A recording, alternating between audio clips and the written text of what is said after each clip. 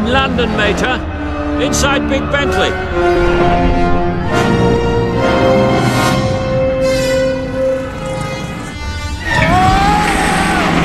Whoa!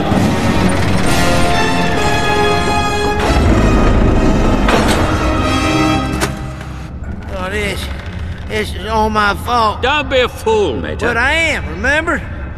You said so. When did I...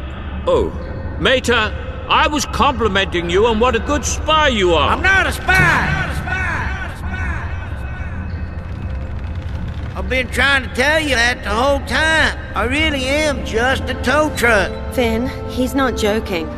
I know. You were right, Finn. I'm a fool, and what's happened to McQueen is because I'm such a big one. This is all my fault. Good, you're up. And just in time. Professor Z wanted you to have a front row seat for the death of Lightning McQueen. He's still alive? Not for much longer.